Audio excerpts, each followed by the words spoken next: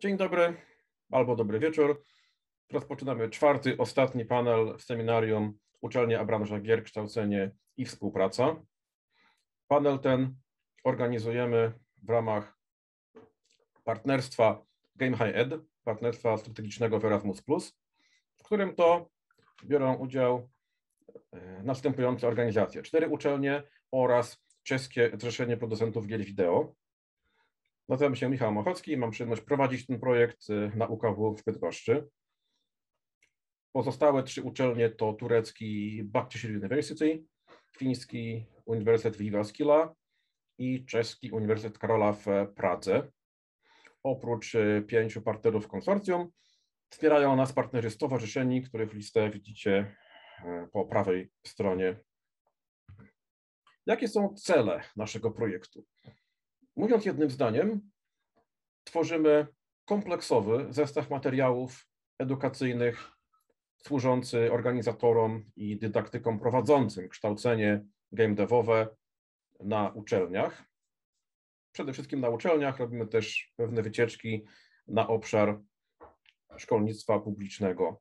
Na ten projekt składa się po pierwsze analiza sytuacji edukacji game devowej w różnych krajach, skupiając się na krajach projektu, czyli Turcja, Finlandia, Czechy i Polska, ale oczywiście patrzymy też na świat anglojęzyczny, USA, Wielką Brytanię, jako nasze mm, produkty, które odpowiadają na potrzeby zdiagnozowane w tym badaniu, e, składają się duże programy kształcenia, czyli całe plany studiów magisterskich i licencjackich, którym towarzyszą mniejsze e, dokumenty, takie jak sylabusy i książki nauczyciela z planami zajęć do pojedynczych przedmiotów.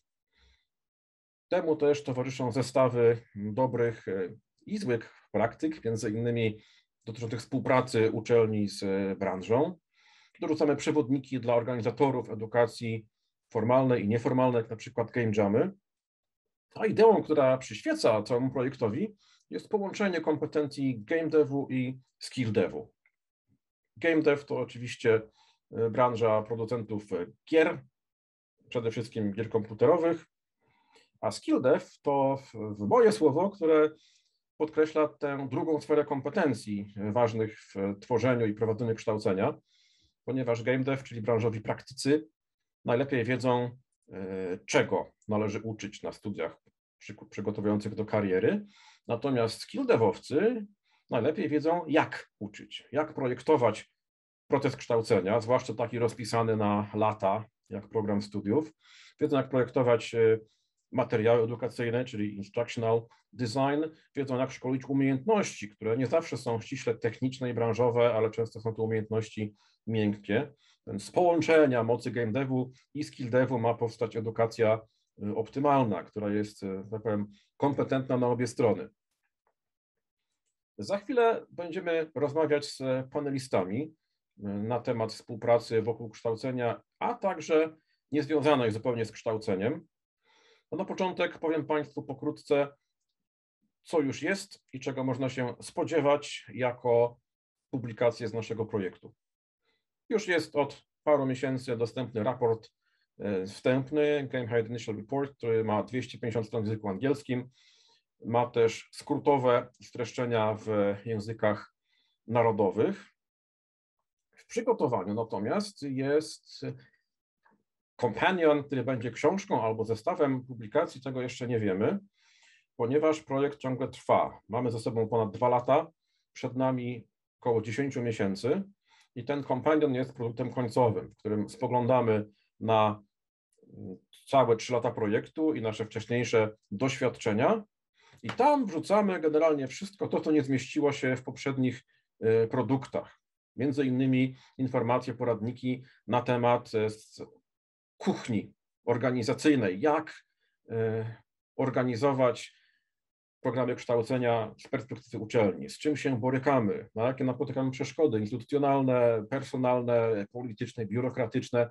Więc tutaj będzie nie tylko o dobrych praktykach, ale będzie dużo e, frustracji, problemów, porażek, e, ze wskazaniami, jak być może da się z tymi problemami poradzić. Więc w tym przewodniku e, na pewno będzie o współpracy branżowej, dobre złe praktyki i rekomendacje. Będzie sekcja współpracy z partnerami niekomercyjnymi czy niebranżowymi, takimi jak e, sektor NGO-sowy, szkolnictwo publiczne, również administracja państwowa. Poświęcimy trochę miejsca współpracy międzyuczelnianej, wspólne eventy, projekty, czy także łączenie edukacji w zespołach studenckich z pomiędzy uczelni.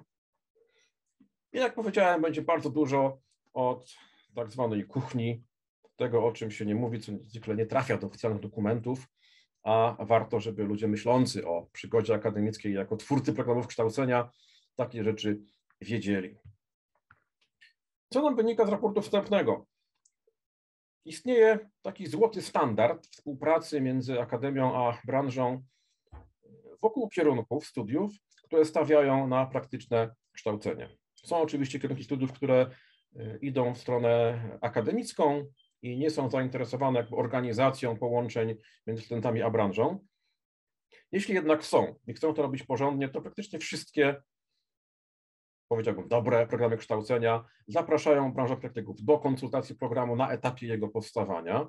Następnie zatrudniają także instruktorów do prowadzenia zajęć i w mniejszym wymiarze organizują wizyty studyjne studentów w firmach oraz gościnne występy, warsztaty, wykłady praktyków branżowych e, na uczelniach. Częstą współpracą jest e, współorganizacja Game Jamów, gdzie i uczelnia, i partnerzy branżowi są współtwórcami, współorganizatorami.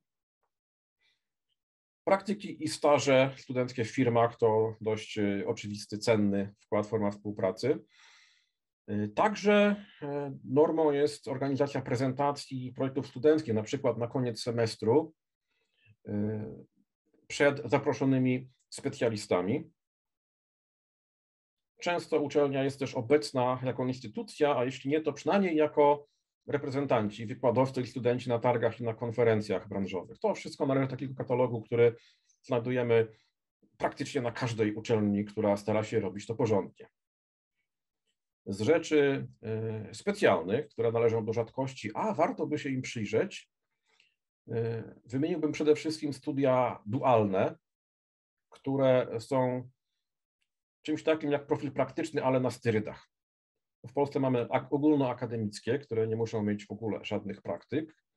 Mamy e, studia praktyczne, które muszą zapewniać bodajże trzy miesiące praktyk zawodowych, a studia dualne są mniej więcej pół na pół, czy, czy dwie trzecie na uczelni, a przynajmniej jedną trzecią czasu zajęć i pracy to jest kształcenie w miejscu pracy i w branży. Takie studia e, finansowane z grantu mamy na UKW, w tej chwili jest trzeci rok, dobiegają końca. Inną, dość rzadką e, rzeczą, a wartą rozwoju to wspólne granty na projekty badawczo-rozwojowe. Tutaj mieliśmy taki program Gaming w Polsce, z którego e, korzystały konsorcja, w których musiał być i partner badawczy, naukowy, i partner branżowy, czyli firma. Mamy także uczelnie będące wydawcami czy współproducentami e, gier i o tym będziemy mówić na panelu, do którego przejdziemy za chwilę. W panelu wystąpi Jakub Marszałkowski z Politechniki Poznańskiej, który też ma gigantyczne doświadczenie we współpracy między branżą, organizacjami branżowymi i uczelniami jako organizator Game Industry Conference, także przez Fundację Indie Games Polska. Wacław Kulczykowski, y, archeolog, który ma w swoim dorobku m.in. grę Waterworks, czyli grę komputerową opartą o wyniki prac badawczych, y, archeologicznych, i jest to nie tylko współpraca uczelni i producenta gier, ale jest też to zaangażowane finansowanie instytucji zewnętrznych. Poprosiłbym Wacława, żeby również o tym styku różnych instytucji powiedział coś więcej. Dzień dobry. Trzecim panelistą jest Piotr Milewski, który zawodowo zajmuje się projektowaniem gier niekomputerowych, który się specjalizuje w grach planszowych, w larpach, w, gro, w sferze gier komputerowych jest w Radzie Nadzorczej Klabatera. Klabater to e, wydawca, e, także producent e, gier komputerowych, który współpracuje z wieloma studiami z Polski i świata. Piotr ma też za sobą kilka lat pracy na UKW jako dydaktyk, instruktor przedmiotów związanych z tworzeniem gier niekomputerowych. Ja zaś, Michał Mochowski, przez pierwsze bodajże 6 lat zajmowałem się mm, całokształtem współpracy naszej uczelni z branżą wokół kierunku humanistyka drugiej generacji, gdzie mamy specjalność badanie i projektowanie gier. Więc jeśli pamiętacie ten katalog złotego standardu współpracy uczelni z branżą, to wszystko, czy prawie wszystko z tych rzeczy przechodziło przez moje ręce przez e, kilka lat i prowadziłem współpracę zarówno nieformalną, jak i formalną, ale e, niefinansowaną, jak i e, duże granty pozyskane z NCPTU na organizację praktyk i staży w studenckich firmach, w tym również Piotr Milewski był moim współpracownikiem. Zatem dziękuję za uwagę prezentacyjną. Zakończę dzielenie ekranu. I zaproszę e, panelistów. Tutaj jeszcze e, jedno słowo wstępu. Jakub Marszałkowski wcześniej sądował e, zakulisowo stopień negatywizmu, jaki może wlać w, naszą, w nasze spotkanie, bo Jakub ma dużo spostrzeżeń na temat Y, porażek, frustracji, różnych przykrych stron czy irytujących stron współpracy na tym styku Akademii Branży, a ja mówię, Jakubie, wal jak w bęben. Ja bardzo chętnie zidentyfikuję obszary potrzeb, obszary problemów, bo wtedy jest szansa, żebyśmy, czy jako projekt Game czy może jakieś większe konsorcjum wspólnie z Wami zaproponowali działania na szczeblu takim, jaki jest potrzebny, czy to legislacyjnym, tym się zajmuje też Fundacja Intelligence Polska, e, czy na szczeblu współpracy międzyuczelnianej. I tu proponuję Jakuba zostawić sobie na deser. Więc jako pierwszego poprosiłbym Wacława o przedstawienie tych współprac wokół e, Waterworks i jego doświadczeń. Później zaproszę Piotra Gniewskiego, żeby powiedział w Sorobik Klabater i też podzielił się swoimi spostrzeżeniami na temat współpracy na styku branży akademii, a Jakub wloje nam te problemy jako last but not least. A zatem Wacławie, serdecznie zapraszam. No tak, no ja może zacznę nawet troszeczkę dalej, dalej niż Waterworks. E, słuchaj się zapytam najpierw, bo nie wiem, czy jestem słyszalny dobrze? Tak, słychać Cię dobrze, A, no, to, bardzo. No to najważniejsze. Ja swoją przygodę z współpracą, nazwijmy to z branżą twórców gier komputerowych, rozpocząłem w 2014 roku, więc no powiedzmy stosunkowo e, dawno jeszcze jako uczestnik studiów doktoranckich. I od razu powiem, ja nie jestem twórcą gier w takim sensie, jak tutaj większość osób ze środowiska. Ja jestem archeologiem, e, e, po części też trochę historykiem, osobą, która E, w gry komputerowe, gry komputerowe lubi i grała hobbystycznie i ma na swoim sumieniu kilka, kilkanaście czy kilkadziesiąt zakończonych, jakoś ukończonych tytułów, natomiast nie jestem twórcą gier w sensie, że ich nie produkowałem nigdy. Więc ja bardziej koncentrowałem się oczywiście na tym, na czym się bardziej znałem, czyli na nauce, na archeologii, na historii. Więc tą swoją przygodę zacząłem już, czy jeszcze w 2014 roku jako uczestnik studiów doktoranckich i wtedy też jako początkujący popularyzator nauki, bo e, tutaj też chyba warto zwrócić uwagę, że ta popularyzacja nauki e, nie, nie uczestniczyłem od początku tego spotkania, ale to, to hasło chyba rzadko kiedy tu występowało. Oczywiście mówiliśmy o współpracy uniwersytetów czy e, szkolnictwa wyższego z twórcami gier, ale rzadko kiedy padało słowo popularyzacja nauki. A popularyzacja nauki jest też czymś takim troszeczkę niedocenianym, co myślę właśnie ma duży, duży potencjał, jeśli chodzi o e, współpracę z twórcami gier komputerowych, ale, ale kontynuując, e, zawsze zależało mi na tym, żeby wyniki tych moich badań naukowych nie trafiały do niewielkiego i hermetycznego grona odbiorców, jak to jest w, zazwyczaj w środowisku akademickim, a docierały tak daleko, jak to jest możliwe, dlatego też szukałem rozwiązań i korzystałem z różnego rodzaju form docierania do jak najdalszego grona odbiorców.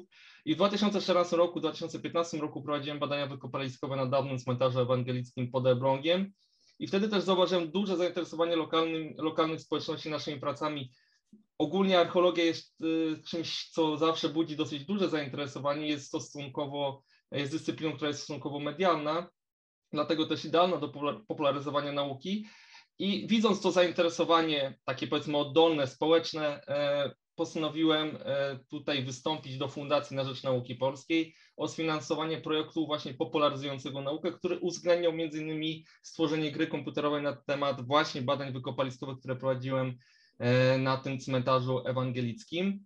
E, I, I tutaj właściwie tu się pojawia kwestia środków. Skąd ja te środki pozyskuję? Oczywiście są w przypadku e, naukowców, naukowcy zawsze pozyskują, w większości przypadków pozyskują e, środki z grantów. Oczywiście te granty oferują różnego rodzaju instytucje publiczne, ale także prywatne, więc w tym przypadku tutaj była to Fundacja na Rzecz Nauki Polskiej, która robiła taki, miały, tak, miały taki pakiet środków przeznaczony na właśnie na działalność upowszechniającą naukę.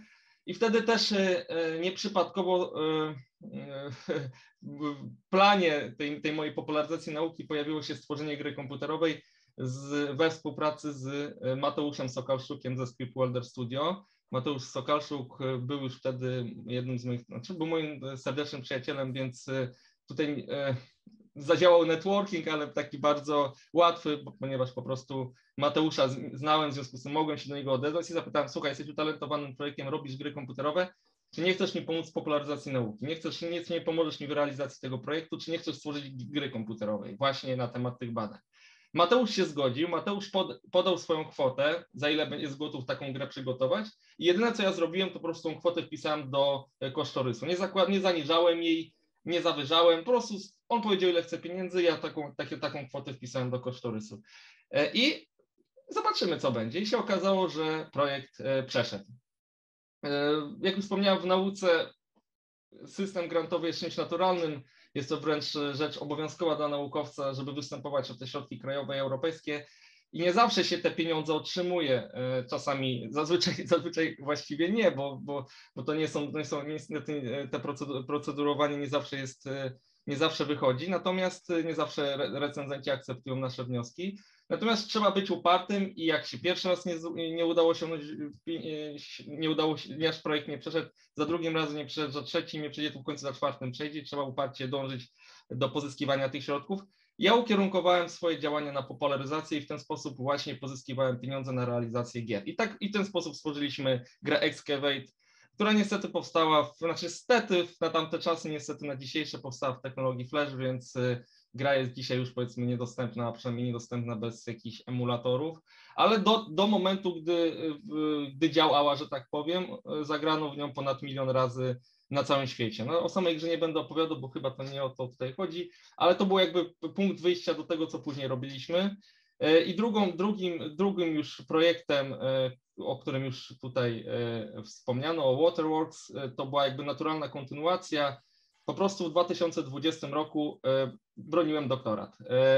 I rok wcześniej, w 2019, miałem już gotowe wyniki, chciałem je znowu rozpropagować jak najdalej, mając na uwadze dobre doświadczenia z Mateuszem oraz ogromne zasięgi. Po prostu wystąpiłem do ministerstwa w ramach funkcjonującego wówczas konkursu Działalność Upowszechniająca Naukę, czyli DUN i znowu ten sam model. Zapytałem Mateusza, za ile jest gotów wykonać taką grę. On podał swoją kwotę, ją wpisałem do kosztorysu i, to, yy, i te środki otrzymaliśmy. Dodatkowo to się złożyło czasowo dobrze, ponieważ, znaczy, tak brzmi to, tak brzmi to trochę, ale z punktu widzenia jakby realizacji projektu było, był to okres dobry, ponieważ, ponieważ e, no, w pandemii ciężko było popularyzować naukę w tradycyjny sposób. E, w związku z tym projekty, które były cyfrowe, były dodatkowo jakby atrakcyjne dla, E, dla recenzentów i, e, i w ten sposób otrzymaliśmy jakby, jakby biorąc pod uwagę to, co wcześniej osiągnęliśmy z Excavate i biorąc pod uwagę okres, w którym składaliśmy wniosek, e, otrzymaliśmy pieniądze na realizację tej drugiej gry, która, którą dzisiaj zagrano ponad pół miliona osób, zagrało ponad pół miliona osób na całym świecie, ale to, co jest jakby najbardziej istotne w tym, że te gry są całkowicie darmowe, ogólnodostępne, na e, e, serwisach typu itch.io albo e, Armor Games, Newgrounds.com, Congregate. Te gry mają, miały po prostu trafić do jak najszerszego grona odbiorców, bo na tym polega popularyzacja nauki, na tym polega misja jakby naukowca, który chce popularyzować naukę.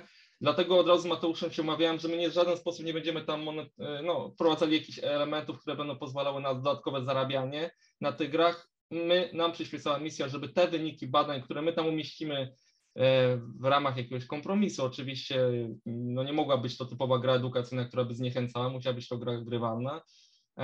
więc, więc która, która by zainteresowała graczy, żeby te, ten, te wyniki badań naukowych dotarły do jak najszerszego grona odbiorców, do jak, jak najdalej wybrzmiały i żeby po prostu ludzie wiedzieli, że na przykład jest takie miasto jak Grudziądz, on, on ma średniowieczną metrykę i działy się tam przeróżne rzeczy, różnie się rozwijała technologia związana z obiektami hydrotechnicznymi, w tym przypadku akurat.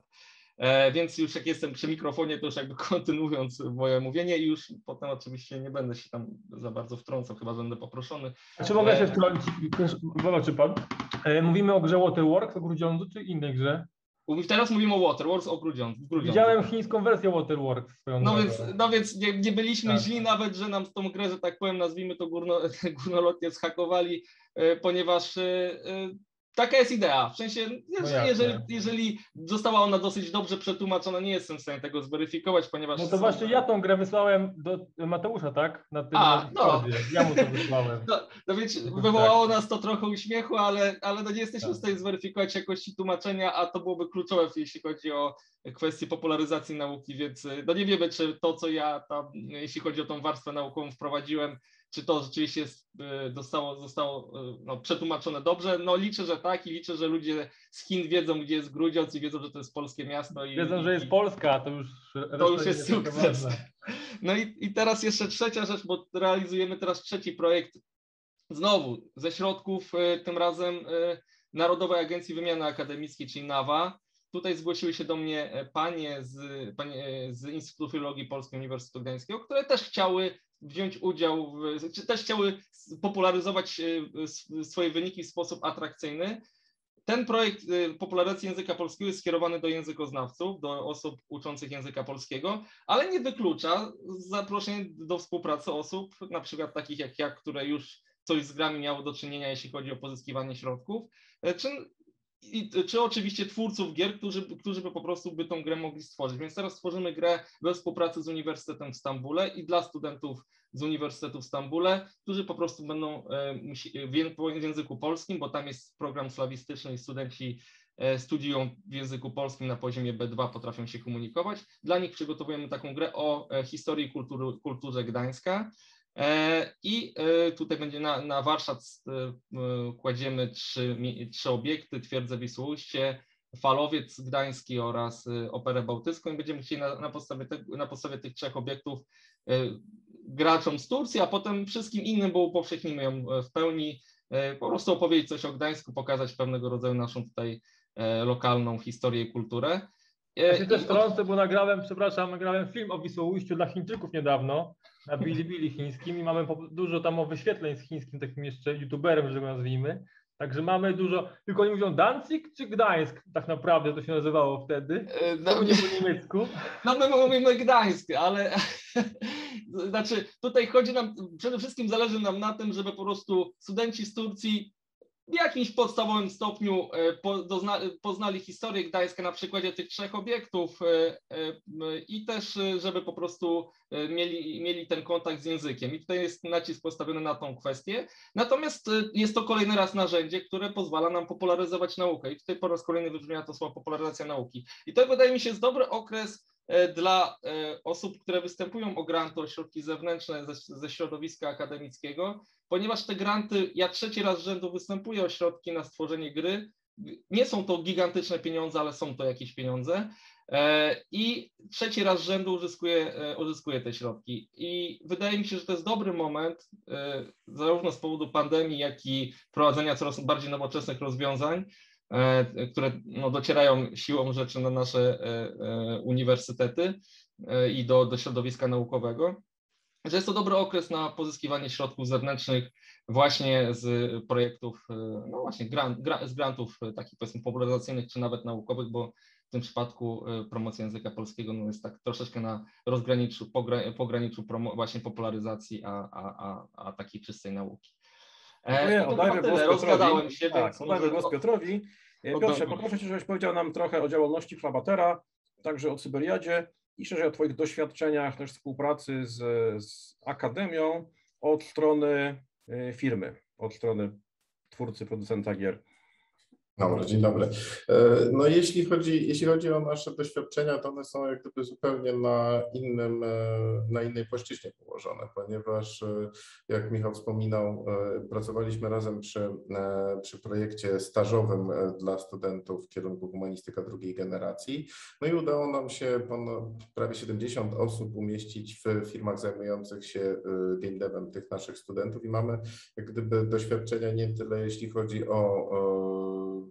produkcję samych, samych gier i tych materiałów do gier, ale raczej przygotowanie właśnie tej e, młodzieży, która ma, e, która ma pracować e, później w tej branży. No nie oszukujmy się, pandemia, która w tej chwili doznała tą planetę, no wiele branży uszkodziła, ale była prezentem gwiazdkowym największym dla branży gier, zarówno cyfrowych, jak i, jak i, jak i niecyfrowych, więc jak to się kolokwialnie w tej chwili mówi, ssanie na rynku na pracowników i wykształconych pracowników jest ogromne.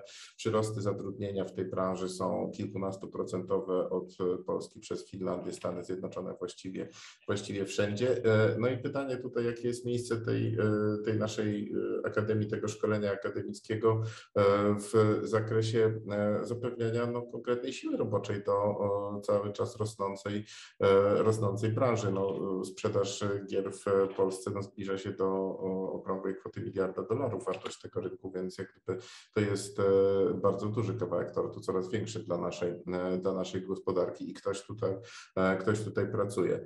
E, mogę powiedzieć tak, no przez, przez dwa, właściwie prawie trzy lata, jak obserwowałem, obserwowałem tych młodych ludzi, którzy się pojawiają w, w branży, zarówno właśnie w, branży, w firmie, która zajmuje się produkcją gier wideo, czyli właśnie tutaj chodzi o, e, o Klabatera, gdzie e, kilku stażystów było właśnie na różnych etapach, czy e, inne gry to z kolei moje doświadczenie z Syriusza, gdzie byli studenci, którzy projektowali u nas i gry planszowe, i escape roomy, i projektowali gry miejskie, i gry w rzeczywistości rozszerzonej, czyli jak gdyby całą resztę tej, tego tortu niż, niż gry wideo, no to mamy, jeśli mogę mówić za siebie, y, jako my, my te firmy, które, które tutaj reprezentuję dziś na panelu, to mamy e, jedno takie e, spostrzeżenie.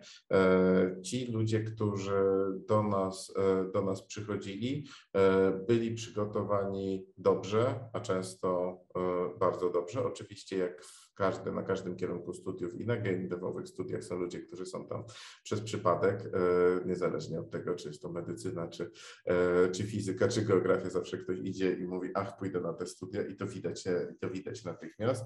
Natomiast to przygotowanie ewidentnie zależy od tego, czy jakiś kierunek studiów jest prowadzony przez ludzi, którym się chce i mam wrażenie, że i to jest taka gorzka pigułka, że to jest zawsze prowadzone wbrew e, akademii i wbrew w tej strukturze. Wszystkie te, w razie większość tych kierunków, które ja obserwowałem, to jest grupa zapaleńców e, po stronę właśnie e, akademii, jeśli już tutaj dzielimy te linie frontu jakoś, e, którym się chce, którzy chcą uczyć czegoś nowego, którzy chcą uczyć czegoś fajnego i przekazują w fantastyczny sposób, e, fantastyczny sposób tą wiedzę.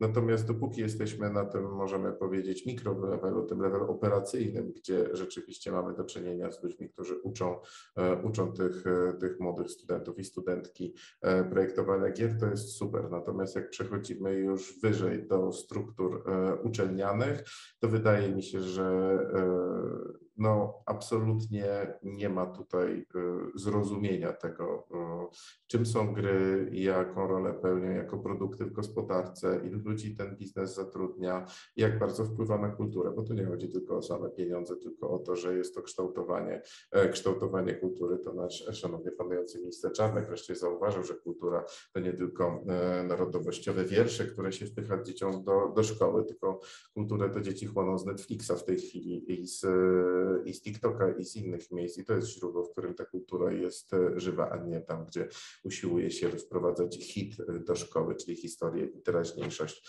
E, więc to jest super istotna rzecz. Ja zawsze się śmieję, na, odpowiadając na pytanie, dlaczego właśnie w Bydgoszczy, tam gdzie wykładałem przez kilka lat kierunek badanie i projektowanie gier, jest na Wydziale Humanistycznym, no bo co to jest? Przecież jak ktoś robi gry, to jest programistą, więc na pytanie, czy ja jestem programistą, artystą, to zawsze odpowiadałem, że jestem architektem, nie murarzem, więc ja projektuję gry, ale nie je wykonuję. A jeśli mówimy o humanizmie i sobie zerkniemy do źródeł humanizmu na przełomie XV i XVI stulecia, no to jeśli na kierunku studiów mamy takie przedmioty jak narratologia, czyli na, na, nauka opowieści, jeśli mamy kompetencje miękkie, jeśli mamy do tego dodane e, statystykę, e, prawdopodobieństwo i matematyczną e, teorię gier, rzeczy związane z psychologią, ze sztuką, z projektowaniem, z programowaniem, z designem, no to jeśli to nie jest współczesny humanizm, to nie wiem, co nim jest, tak na dobrą sprawę. Więc ze swojej, jak gdyby, ze swojej perspektywy człowieka, który pracował, wprowadzał tych studentów w działania, w pracę w firmie, w uczenie się, to to są młodzi ludzie, którym się chce którzy są fajnie przygotowani przez ludzi, którzy robią świetne programy kształcenia. Natomiast jeśli tylko zachodzimy odrobinę wyżej do e, jakichś struktur takich oficjalnych na uczelniach, to moim zdaniem tam absolutnie nie ma e, zrozumienia tego. Ja pamiętam do dziś spotkanie z jedną e, panią, która była, jedną panią dziekan, która usiłowała właśnie wypchnąć niedopensowionym ludziom przedmiot jak historia gier cyfrowych i na moje pytanie do tej kobiety, która miała właśnie, jak usłyszałem, oddała życie dla uczelni e, i ma moje pytanie, co ona wie o grach cyfrowych, ile w nie grała, to ona powiedziała, no przecież przeczytam dwie książki i ogarnę. E, więc e, może rzeczywiście Dzieje się dobrze, ale dzieje się to wbrew systemowi i takie jest moje tutaj postrzeganie, postrzeganie tego. Mamy fajnych ludzi, którzy mają wiedzę na akademii i wiedzą, jak ją sprzedawać. Mamy fajne dzieciaki, które chcą się tego uczyć, chcą pracować i jest mnóstwo miejsca, gdzie mogą się wykazać. E, natomiast jeśli chodzi o system, no to zderzamy się tutaj z lodowcem, który mentalnie jest na przełomie XIX i XX wieku, jeśli chodzi o edukację i to jest taki mój tutaj gorzki kamek do tego ogródka. Dziękujemy serdecznie. To teraz Jakub. Jeszcze może uzupełnię trochę prezentację, bo jak oprócz tego, że współpracuję i z Akademią, i z branżą przez Fundację Games Polska i przy Game Industry Conference, także jest zaangażowany w opracowywanie raportów na temat e, branży i kształcenia do branży, więc ma bardzo kompleksowy, taki ogólny ogląd tego, co się dzieje w Polsce, a także o, na świecie. Otworzyłem sobie raport właśnie, będziemy sypać cyframi. E, Super. To dobra, zapinamy dziękuję. pasy i Jakub przejmuje głos. nie, nie, tu Piotr już mi trochę podbudowy zrobił, będzie, będzie łatwiej na tym dalej, dalej budować. E, tak, ja się ogromnie zgadzam z tym, że to się zazwyczaj sprawdza do, sprowadza do jakiejś grupy e, pasjonatów, entuzjastów, czy jakkolwiek nazwiemy, którym się chce i, i coś będą robili i budowali. E, I to tak, no dziękuję Wam, że, że, że, że chce się Wam i że, że budujecie i tak dalej. E, nawet miałem takie pytanie gdzieś tam na końcu języka przy okazji tych game jamów, na ile to jest e, dyskusja o tym, jak uczelnie organizują game jamy, a na ile to jest dyskusja o tym, jak każde z Was organizuje game jamy z minimalnym wsparciem uczelni albo czasami wręcz z jakimś tam tarciem, pokiwaniem głową, aha, giereczki będą robili, czy coś innego takiego z, przez starą kadrę, ale jeszcze inaczej bym spróbował do tego podejść. E, patrzę sobie w statystyki, patrzę sobie w raport ostatni The Game Industry of Poland, który opublikowaliśmy. Mamy trochę gdzieś tam na E, gdzieś tam na tapecie mamy trochę bardziej edukacji poświęcony raport i on się jeszcze kiedyś ukaże, ale skupmy się na razie na tych statystykach. E, w sierpniu 2021 ogłosiliśmy 71 kierunków kształcenia, 71 mm, sztuk e, oferty dydaktycznej na poziomie szkolnictwa wyższego. To trudno sprowadzić do jednej nazwy, bo to są i kierunki, i specjalizacje, i jakieś pracownie dyplomowe, czasami zupełnie, zupełnie różne rzeczy, na 56 różnych uniwersytetach. Czy ta dyskusja dyskusja, którą my tu w ogóle prowadzimy dzisiaj, y, ma sens. Skoro siedzi nas tutaj 21 w tej chwili osób, w porywach wydaje mi się, że dochodziliśmy do 22. 22 e, wspaniałych, e, którzy coś tam gdzieś tam robią i dłubią. W jakiejś tam większości się znamy, widzimy się, spotykamy się na takich panelach i dyskusjach nie, nie po raz pierwszy, formalnych, nieformalnych, oficjalnych, nieoficjalnych. Pewnie moglibyśmy się tu o coś pokłócić, ale trochę po co z grubsza wiemy, kto się na jakich pozycjach okopie i tak dalej wszystko jest jasne. Pytanie jest w takim razie, skoro nas tu jest 21 osób w tej chwili, gdzie jest pozostałe 50 kierunków, tak? gdzie mają swoich reprezentantów, z kim dyskutują, z kim współpracują, e, jak wygląda tam przygotowywanie e, programów kształcenia, jak wygląda tam dyskutowanie tych programów kształcenia i tak dalej, gdzie jest, miałem tu taki argument sobie przygotowałem wcześniej, trochę mi go popsuliście Ewa z, z Markiem, tak, bo miałem taki argument przygotowany, e, jak to jest, że e, znam e, pewnie połowę prezesów studiów w Polsce produkujących gry, natomiast nie znam żadnego dziekana kierunku zajmującego się kształceniem gier, nigdy nie spotkałem żadnego rektora kierunków kształcących przyszłych twórców gier, więc Ewo, Marku, gratuluję, ale w zasadzie to nie czyni mojego argumentu inwalidą, tylko chyba właściwie go wzmacnia, bo skoro nam się na spotkaniu pojawili wreszcie rektorzy i dziekani, ale to są nadal ci sami ludzie, którym od zawsze się chciało, e, to to chyba pokazuje, że wśród tych, e, tych, tych którym się nigdy nie chciało pojawić na tych spotkaniach, tak, wśród tej powiedzmy, nie wiem, starej kadry, że jakkolwiek to będziemy dyskutowali, nic się nie zmieniło. Proszę mnie skorygować, czy leci z nami jakiś inny dziekan? Nie widzę. E, I, to, są takie tutaj mm, problemy wątpliwości. Pewnie, że my możemy sobie podyskutować, e, tworzymy gdzieś tam jakoś te kierunki, coś tam staramy się działać i tak dalej, no ale my też chyba nie jesteśmy osobami decyzyjnymi w ramach tych uczelni, tych wydziałów, tych, tych kierunków, tylko gdzieś tam to, co chcemy zrobić i to, co chcemy uzyskać, musimy się z tym przebić wyżej, kogoś przekonać, kogoś zmusić czasami do czegoś. E, wielkie kciuki moje zaciśnięte za tym, żeby udało się przepchnąć game jam jako przedmiot, to w ogóle nie wyobrażam sobie, jak jakakolwiek uczelnia w kraju to, e, to, to łyknie.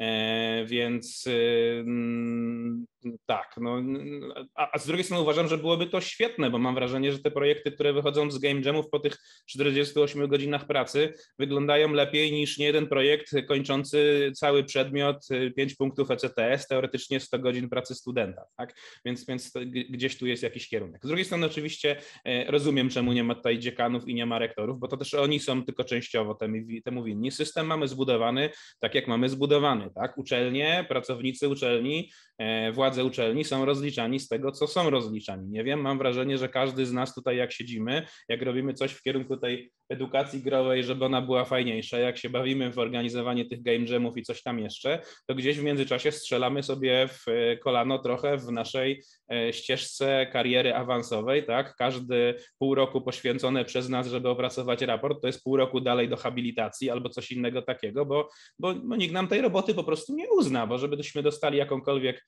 e, kiedykolwiek awans w ścieżce awansowej tej uczelnianej naukowej, to zupełnie inne są oczekiwania czy możemy mieć pretensje do, do dziekanów, że tu ich nie ma? No nie, oni też mają inne, e, inne cele do realizowania, inne cele do dostarczania. I teraz, żeby może jeszcze dokończyć to bicie, żeby nie być tylko w jeden bęben, to, to z drugiej strony bęben, próbujemy tu rozmawiać o współpracy uczelnie z przemysłem, a ilu mamy przedstawicieli przemysłu tak naprawdę na sali? No jest te parę osób pewnie, które e, mają jedną nogę tu i jedną nogę tutaj, e, ale to znowu nie są w tych spółkach e, produkujących gry, w tych studiach produkujących gry, to znowu nie są osoby decyzyjne, gdzie są prezesi mm, firm produkujących gry, gdzie są osoby odpowiedzialne za HR, które może mogłyby faktycznie coś zacząć poopowiadać, co tym studentom wychodzącym z uczelni, czego im brakuje i co tu poprawiać i tak dalej. Oni pewnie by się oczywiście zderzyli z murem, bo my byśmy im powiedzieli, że e, to się nie da, ta się, tam to się nie da i tak dalej, i tak dalej. To jest takie chyba wszystko trochę, ja nie wiem, ja jestem trochę, e, przepraszam, że tutaj tak brzmi, ale ja jestem trochę zniechęcony, trochę, trochę zmęczony, może trochę wypalony nawet tym,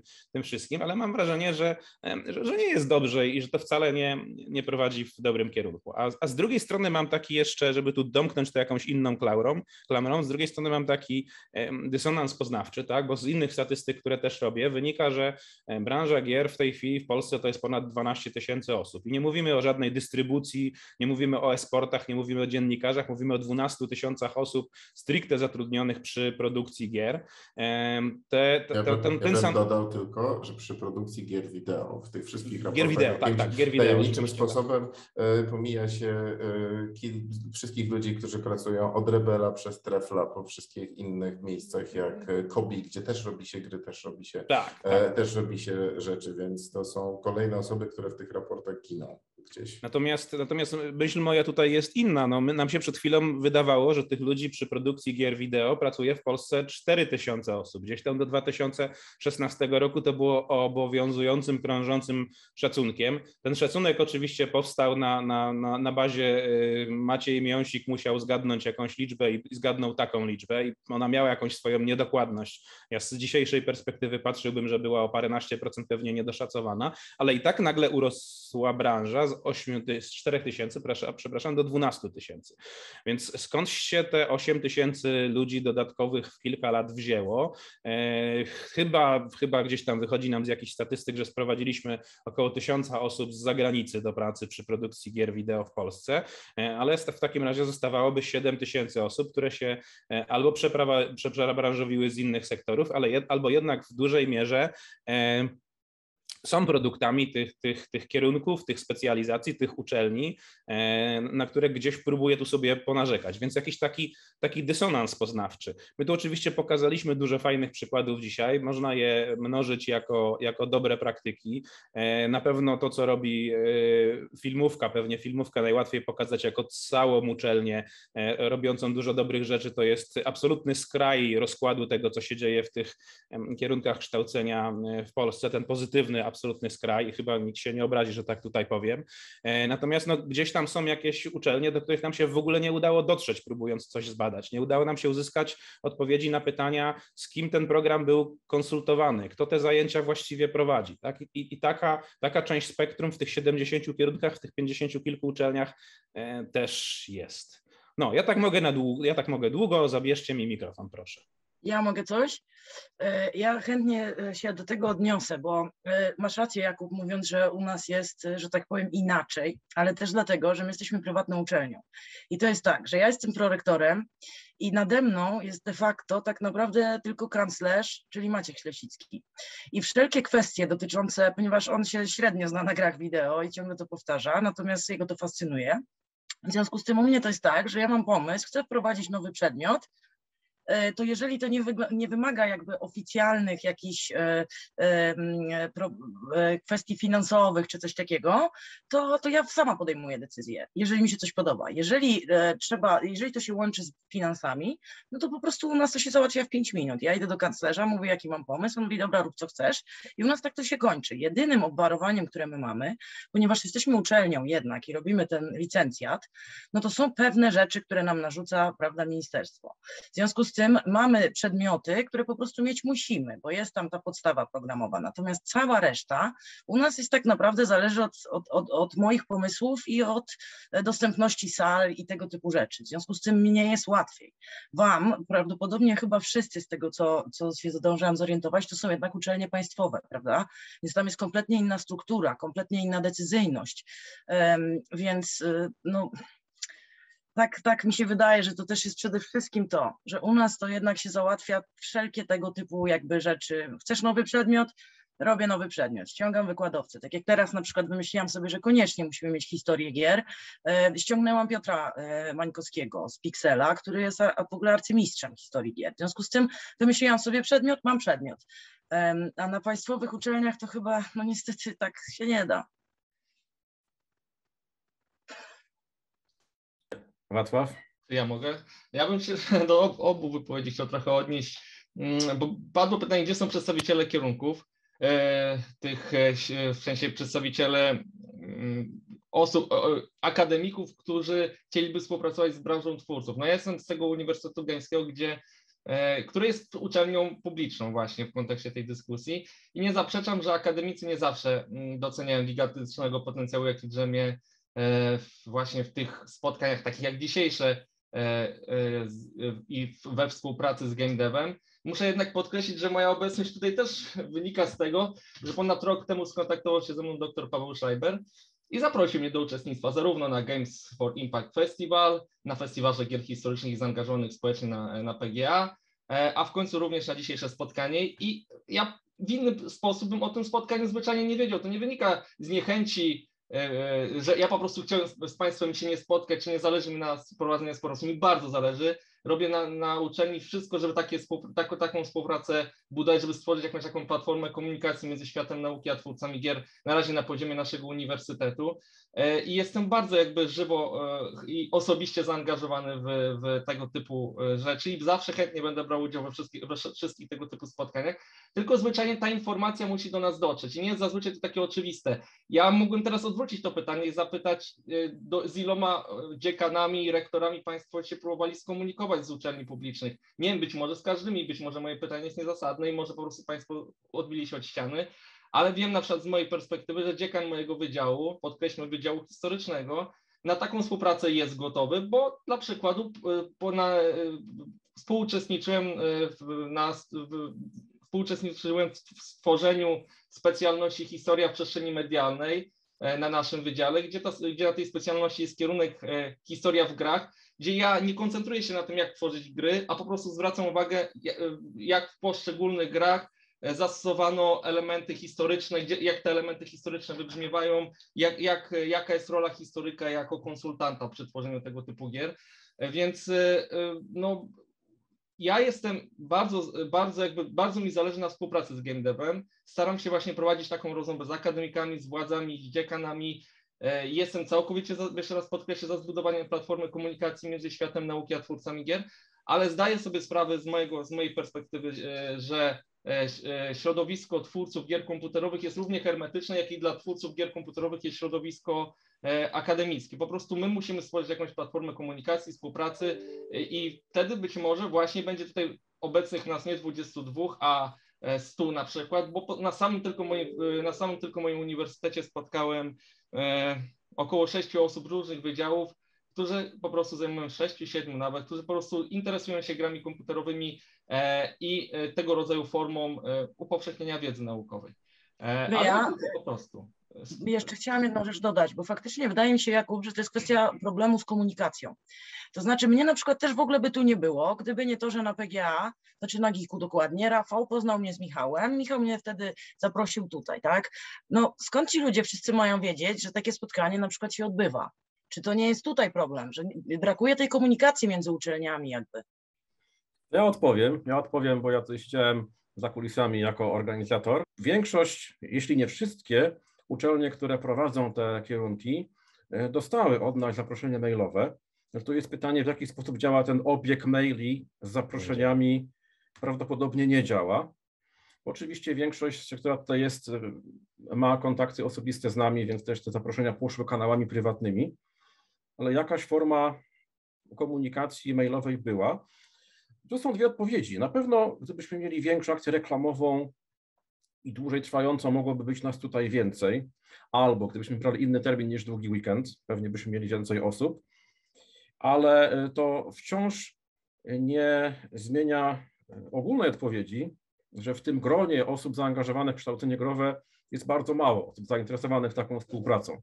To jest absolutna prawda. To edukacja ma pecha być niedocenianą w obu sferach. Od strony akademickiej, zwłaszcza po reformach gowinowych, kompletnie nie opłaca się poświęcać ani środków, ani czasu na ofertę dydaktyczną, ponieważ uczelnia dostaje parametryzację, punkty, a docelowo środki mm, wyłącznie za wyniki dydaktyczne. To się wręcz pogorszyło, bo wcześniej przed tamtą reformą były osobne pule dofinansowania na dydaktykę, i na naukę i nie można było ich mieszać, a teraz właściwie ta dotacja jest jednolita i gdybym ja był na przykład doradcą strategicznym przy rektorze i chciał maksymalizować wyniki uczelni, to bym sam doradzał, że nie opłaca się niczego dawać na dydaktykę, tylko wszystko dawać w naukę. To jest prawda. Podobnie to wygląda e, z perspektywy branżowej, że tam kwestia edukacji kadr na uczelniach jest mało dostrzegana. I to, to jest prawda. Ja się zgadzam co do obserwacji, nie zawsze się zgadzam co do wniosków. Bo z drugiej strony, mając y, nieduże grono ludzi zainteresowanych przez lata, y, i tak możemy y, sporo działać, również dlatego, że tych ludzi jest stosunkowo procentowo niewiele, ale branża, która liczy kilkanaście tysięcy osób plus uczelnie, jest na tyle duża, że nawet ten skromny margines procentowy przekłada się na dużo osób, dużo środków, dużo partnerów potencjalnych. Pamiętam z którychś badań, że około 20-25%, to bodajże jest raport 2017 roku, pracowników branży deklarowało jakąkolwiek chęć współpracy z uczelniami. Ale 20% tak dużej branży to wciąż jest gigantyczny potencjał, gigantyczny zasób partnerów, do których można sięgnąć.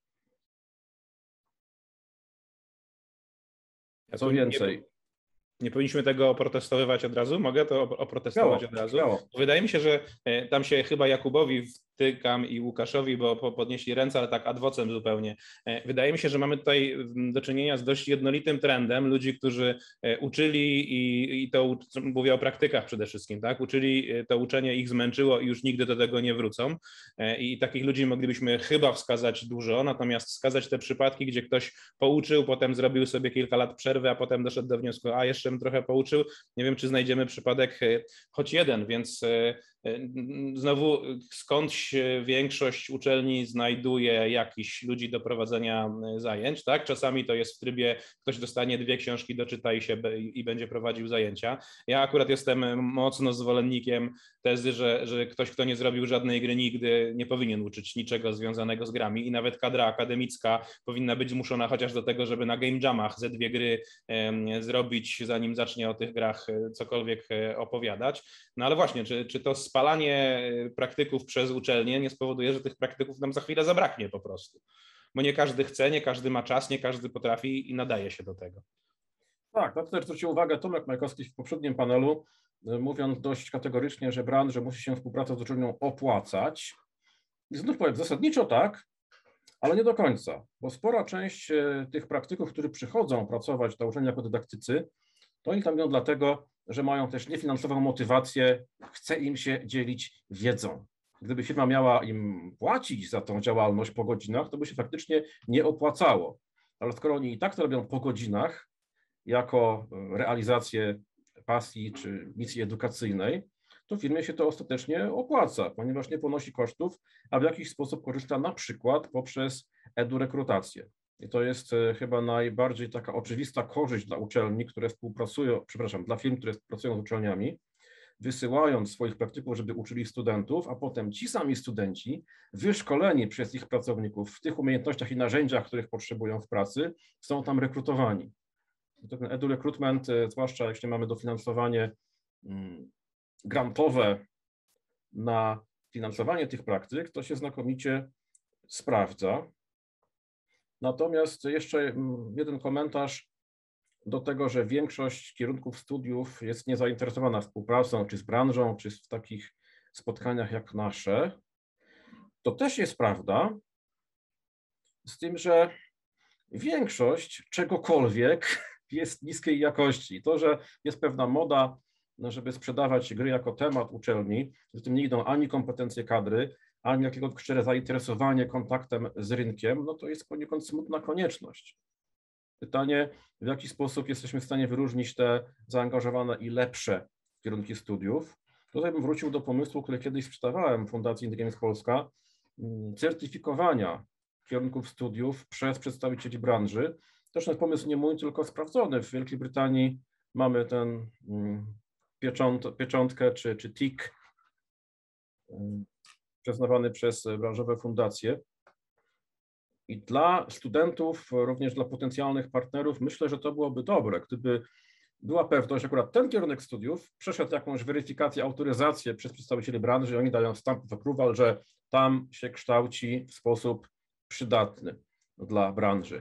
My w Gamepadzie chcemy coś takiego osiągnąć na poziomie programów, że nasze programy kształcenia, sylabusy, materiały są współtworzone przez branżowców, więc są polecane przez Czeskie Stowarzyszenie. Fundacja IGP mogłaby coś takiego porobić na poziomie właśnie autoryzacji instytucji. Co o tym sądzicie? To to, że większość będzie powiedzmy słabsza, czy niezainteresowana branżą. Może nie trzeba mówić słaby, mogą być dobre akademicko, prawda, naukowo. To jest smutny fakt. Natomiast wciąż jesteśmy e, zdolni zdziałać sporo właśnie z ludźmi, którym się chce. W gronie niewielkim, które stawia nie na ilość, ale na jakość. Co wy na to? Jakub i Tomek, mamy tu więcej rączek.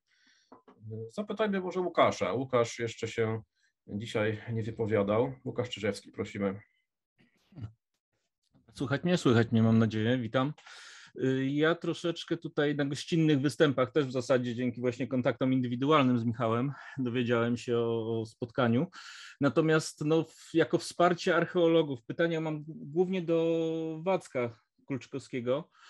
Y, czy mówiąc, czy projektując w ogóle mm, gry, czy przygotowując projekty, y, zajmujesz się no, przygotowywaniem tego pod konkretną stanowiska, pod konkretne obiekty, czy też y, przy, planujesz jakieś funkcje konsultacyjne dla, dla game devu, jeżeli mówimy o, o konsultacjach archeologicznych, czy w ogóle, w ogóle w tę stronę też, też planowałbyś w ogóle współpracę z, z game devem? Oczywiście, że tak, bo ja zakładam, że y, to właśnie game dev, czyli ludzie y, świata gier komputerowych są osobami kompetentnymi w tworzeniu gier. Ja jako naukowiec nie chcę narzucać E, tego, jak gra ma wyglądać, bo wiem, że nie mam doświadczenia w tej materii, Oczywiście. więc nie, nie będę nigdy, nigdy się wtrącał w proces twórczy, nie będę mówił, jak, jak, jak osiągnąć te wysokie wskaźniki grywalności, to jest najważniejsze, mm -hmm. bo każdy, to też na ostatnim festiwalu Mateusz Sokarszuk powiedział, że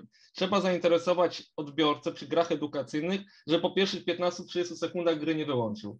Więc y, najpierw musi być po prostu dobra rozrywka, dobra, dobra y, y, interesująca gra, która skupi uwagę i będzie powodowała no, przyjemność, a dopiero w drugiej kolejności muszą być przemycane elementy naukowe. Na tym mi zależy, więc ja, więc ja patrzę inaczej, że to twórca gier tworzy grę, ja jestem tym elementem konsultacyjnym, który mhm. konsultuje naukowo Y, czy to jest poprawne. W sensie, bo mi zależy na tym, żeby jednak te elementy naukowe były poprawne z punktu widzenia mhm. mnie historycznego czy archeologicznego, czyli żeby nie przemycać po prostu w dobie postprawdy, postprawdy i fake newsów, żeby nie prze, przemycać rzeczy fałszywych, żeby po prostu gra była autentyczna. Być może dla twórców, y, twórców branży gier komputerowych jest to też ważne, bo mając mnie na przykład w zespole, ja mogę zagwarantować, że jeżeli w przyszłości jakiś recenzent powie, ta gra chociaż robią ją na temat historii, to ona jest kompletnie niehistoryczna, to wtedy hola hola, mamy w zespole historyka. Ten historyk nam konsultował te informacje, kłóćcie się z nimi, wtedy pojawiam się ja na przykład jako historyk czy archeolog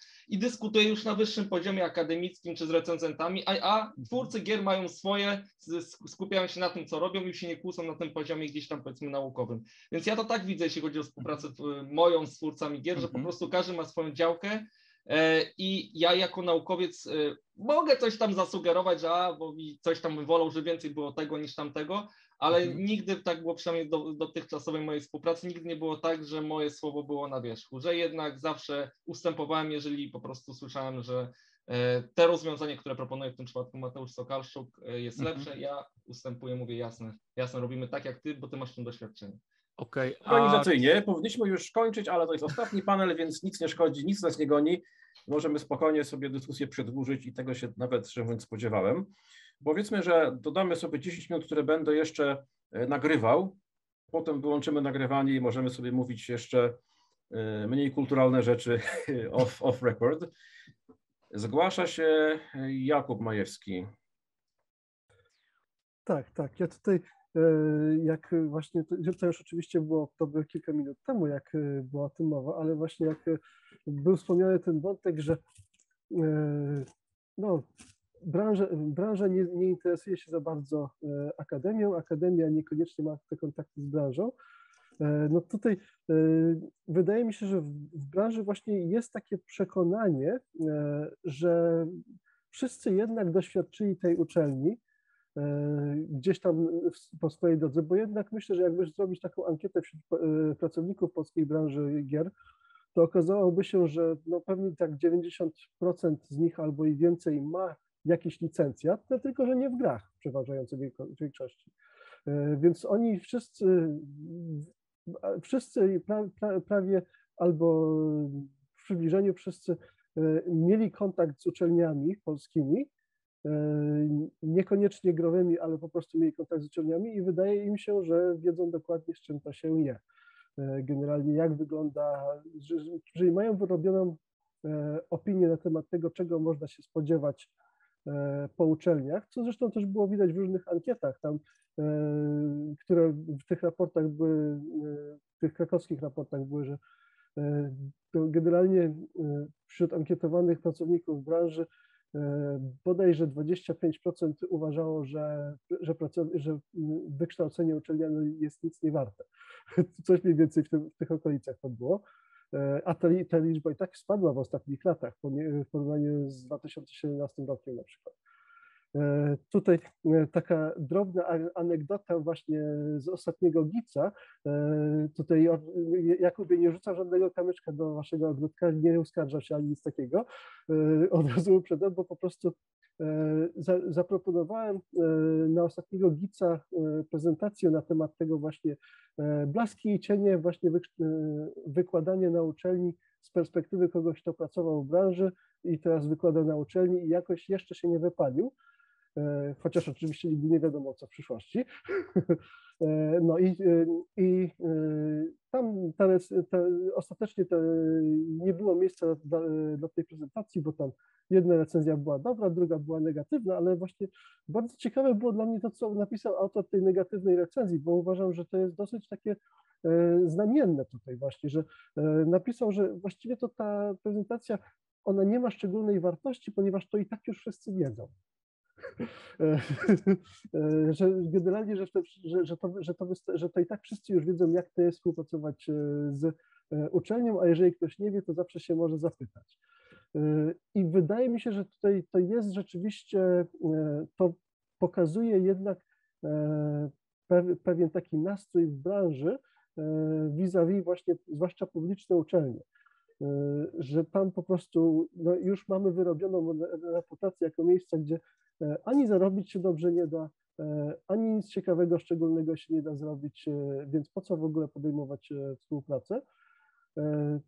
No, także pytanie jest, jak to, jak to można dalej rozwiązywać? No, oczywiście można robić takie rzeczy, jak ja tutaj proponowałem, czyli po prostu pójść na tego gica i E, zaprezentować, wytłumaczyć, że owszem, wykładanie na uczelni to też się wiąże z pewnymi e, plusami, przede wszystkim e, własnego rozwoju, też poznania tych nowych ludzi i tak dalej, ale troszeczkę mimo wszystko jesteśmy w takim właśnie punkcie bez wyjścia pod tym względem, że te minusy zawsze i tak pozostaną. I tak troszeczkę się obawiam, że Jakub może mieć rację w tym sensie, że większość ludzi, którzy będzie przychodzić z branży, powykładać y, na uczelnię, jednak wcześniej czy później zdecyduje się y, dać za wygraną z tym. Albo ograniczą się tam do wykładania jednego, dwóch przedmiotów, albo kiedyś tam ktoś im zaproponuje pełnoetatową pozycję i się zaśmieją, widząc z jakich dochodów musieliby zrezygnować na rzecz jakich E, I takich entuzjastów, e, wariatów typu takich właśnie jak ja, którzy jednak zupełnie chcą być na tej uczelni, to jednak aż tak wielu nie będzie. Ale z drugiej strony tych ludzi w branży ciągle przybywa, więc może jednak ta pula nie jest do wyczerpania. To tyle jeszcze. To jest, to jest moja odpowiedź na w, w krytykę, czy tam spostrzeżenie Jakuba, że jak najbardziej branżowcy się szybko wypalają na uczelniach. Powiem to wprost. Również dlatego, że często na dużych uczelniach państwowych spotykają się wprost z lekceważeniem, że nie mają tytułów naukowych i zajmują się grami czymś niepoważnym, więc człowiek, który jest weteranem branżowym, zgada się poświęcić swój czas za niewielkie pieniądze, chciałby chociaż być doceniony za to. No i jest od strony studentów czy kadry tej growej, ale w kontakcie z administracją czy innymi kolegami bywa, że dostaje e, jakieś takie e, sygnały pogardy, że, że co on tam robi. E, z tym, że tak, odpowiedź jest taka, że e, tych wariatów, którzy chcą za małe pieniądze i w biurokratycznej niedoli to jest niewielki procent, natomiast w tak dużej branży ich chyba nie zabraknie. Poza tym, gdyby warunki były dobre, warunki pracy na uczelniach, to ja także bym się zastanawiał, czy ktoś, kto jest e, przede wszystkim devem, branżowym praktykiem, czy on by się wiązał z uczelnią permanentnie, zawodowo, jeśli jednak no nie jest tym akademikiem, tylko devem. Pewnie by zostawali dłużej, ale też sądzę, że permanentne związanie branżowca z uczelnią byłoby rzadkie, a nawet w sytuacji dobrych warunków współpracy. Tomek Kaczmarek. Dziękuję Michale, takie e, jakby nawiązanie do tego, co Jakub mówił i do tego, co e, drugi Jakub mówił i Marek Ściąkowski i Majewski. Jedno, że niektóre uczelnie, jak e, New York Game Center, mają wręcz wymóg dla swoich akademików, że wszyscy mają tam kontrakt kilkuletni i wciąż, i żeby ten kontrakt został odnowiony, muszą wydać jakąś grę, która odniesie jakiś tam konkretny sukces, co też jest ciekawym e, podejściem. W Wielkiej Brytanii e, wrzucę w czat tak jakby ten sensus naszej branży, rzeczy, co wiem, w Polsce też robią z numerkami, gdzie możecie zobaczyć, że 81% przemysłu e, game devu w UK ma licencjat bądź wyżej.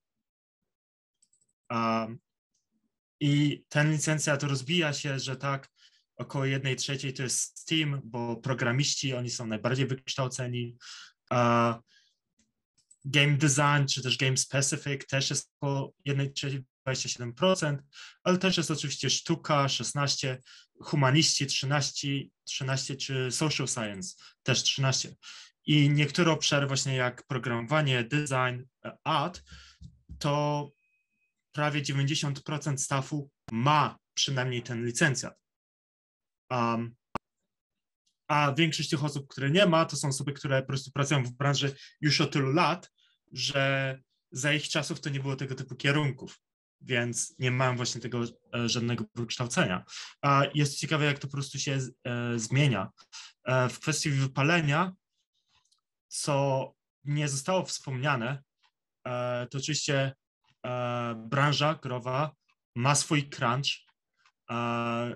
Średnia, tak jak tutaj jest też wspomniana, że 90% osób w branży w UK pracuje, przepraszam, 94 od 33 godzin w górę, gdzie 90% to jest od 33 do 50 godzin tygodniowo, czyli taki full time trochę na, nadwyżej. I to jest coś, co my jako akademicy też mamy. My mamy de facto płacone tylko za nauczanie przedmiotu. Większość naszego researchu, przygotowań, E, networkingu, rzeczy, żeby wzbogacić tą ofertę. Wszystko jest robione po godzinach, wieczorami, weekendami, tak jak dzisiaj. Są to rzeczy, za które nie mamy płacone, ale rzeczy, które są od nas wymagane, są oczekiwane. E, I tak, to, można się wypalić i tak pasja nie jest wystarczająca. Potrzebna jest determinacja, morale, wsparcie. Um, ale odbija się to na zdrowiu i życiu ludzi. Więc tyle chciałem dodać akurat. Tam wiem, że Jakub miał rękę że jakiś czas, więc oddam mu głos. Ja, ja tylko mam a, dalej... Przepraszam, gadałem. Chciałem prosić Filipa, a e, Filip też, też długo czeka, a na koniec Jakub. Najpierw niech się Jakub wypowie, bo to... Nie, nie, ja bardzo chętnie na koniec, bo ja mam tylko więcej narzekania. to ja chciałem od tego zacząć. znaczy akurat u nas y, moja współpraca z Michałem, no to wyglądała tak, że y, tak byłem wykładowcą na, na UKW, na Game Decku przez co najmniej 3 lata. I no pierwsza rzecz, jakie, y, od czego w sumie zaczęliśmy, no to było to, że przez pierwszy miesiąc w ogóle nie zaczynaliśmy zajęć, no bo powiedziałam Michałowi wprost, że no niestety, ale mamy crunch w firmie i i no nie jestem w stanie pogodzić wykładania i nadgodzin w firmie. No i niestety tak to wygląda. Michał powiedział, ok, spoko, no to zaczniemy od drugiego miesiąca, będzie to odpowiednio rozliczone i uczelnia się na to zgodziła. I jakby robić 8 godzin dziennie i jeszcze przygotowywać się na zajęcia i prowadzić te zajęcia, no to to jednak jest sporo czasu. I jeżeli... No, Dorzucę, ja roz... napisać program przedmiotu całego. Tak, tak, sylabus, I, i, i to, Dodajmy kurczę, zbiurokratyzowany sylabus. Tak, tak, tak, przy którym Michał mi bardzo długo pomagał. E, to, to nie jest jakby tak, jakby ja rozumiem, że tak człowiek powinien być, jakby ten wykładowca powinien być z pasji, ale jakby no nie chcę, nie chcę tutaj mówić, ale wydaje mi się, że też pasja ma jakieś swoje limity. Tym bardziej, że no, musimy wziąć pod uwagę, że niestety to jest ten element crunchu, który jest nieodłączną częścią tego game devu. No i też mieliśmy w sumie sobie taką sytuację na, na tej uczelni, kiedy zastanawialiśmy się, czy powinienem prowadzić Unreal'a, czy powinienem prowadzić Unity. No i były sobie za i przeciw i główne to były w sumie chyba takie, że Unreal e, nie wymaga jednak znajomości e, kodu, i programowania, bo można sobie wtedy skorzystać z blueprintów, ale niestety jest dużo bardziej obciążający dla sprzętu uczelnianego. I Michał starał się y, uzyskać pieniądze na sprzęt, no i niestety no, nie dostał tych pieniędzy i zostaliśmy przy Unity.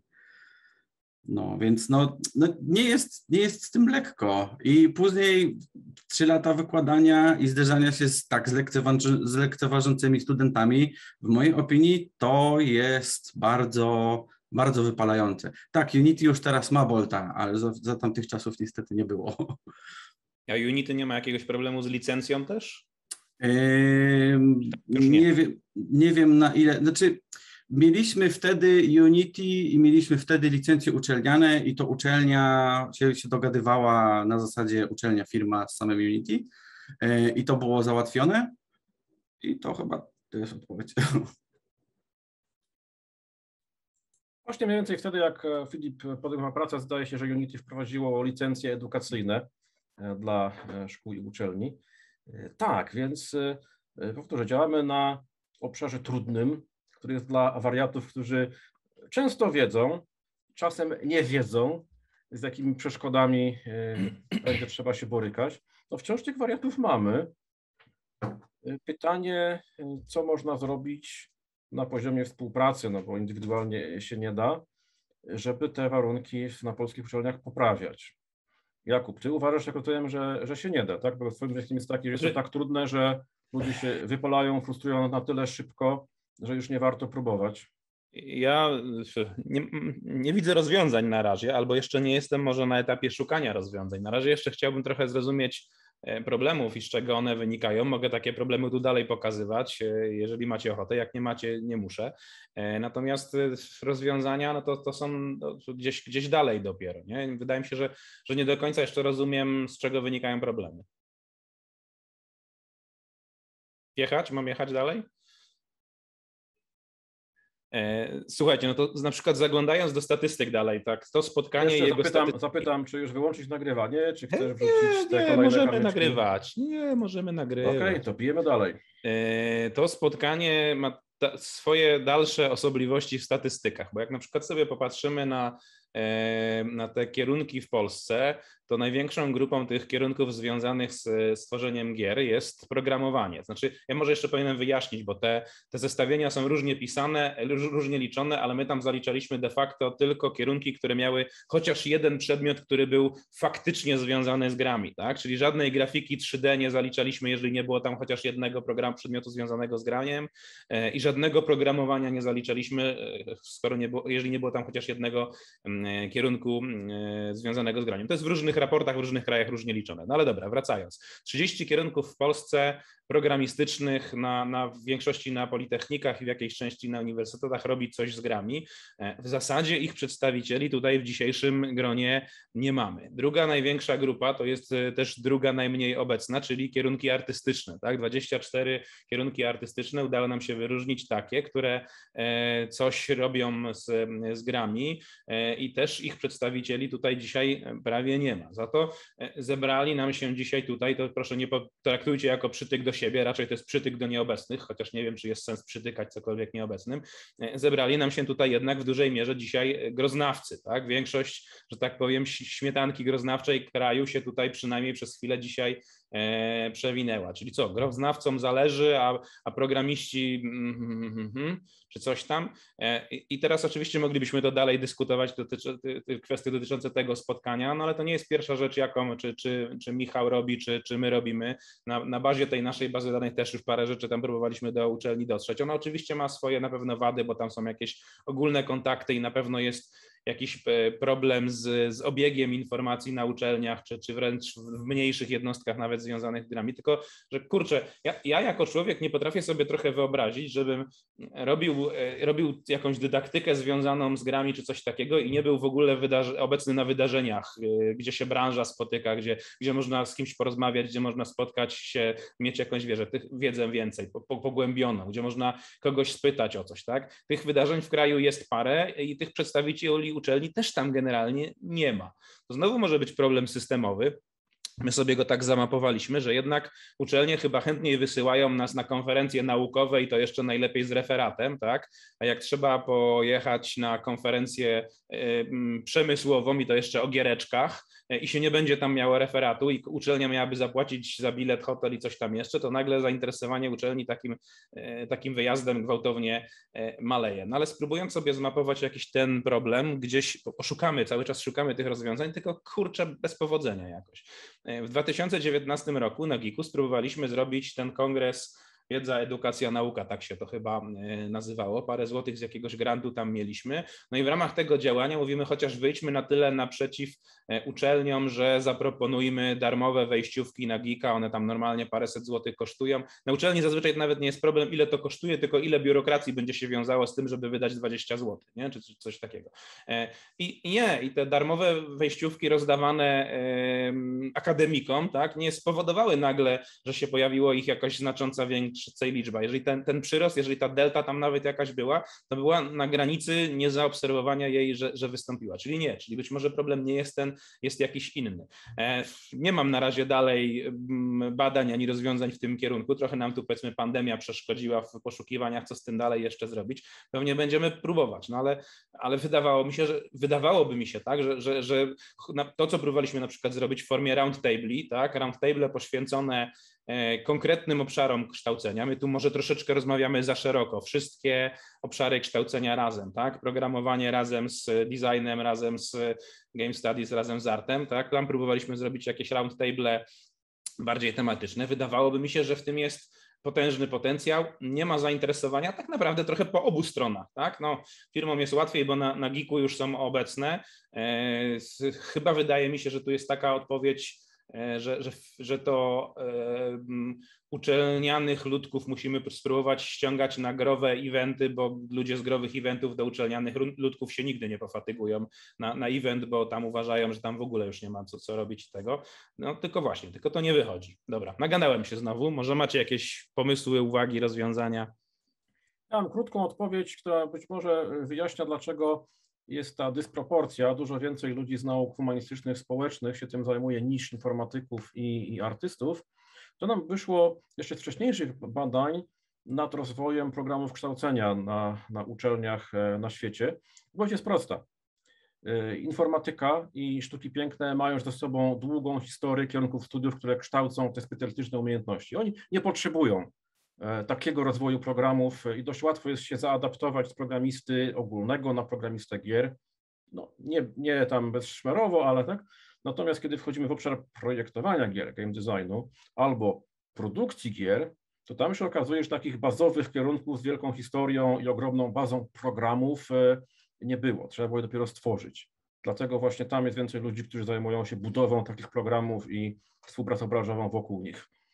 Rafał Schleiber, Dobra, ja się odniosę do tego, co Jakub mówił jakby, bo, bo wydaje mi się, że ja podzielę się tym, jak, e, jak można się komunikować e, i to pewnie Jakub też dobrze wie, że zawsze trzeba wiedzieć, z kim się komunikować. I, i to czasami jest e, podstawa, przynajmniej ja patrzę u mnie, bo ja to nie, nie, nie, jakby trzeba dotrzeć do tych ludzi, którzy są zainteresowani bo czasami wysłanie maila, wiecie, że na przykład o tym spotkaniu e, moja uczenia, nie wiem, nikt, nikt nie poinformował, że coś przyszło, nie?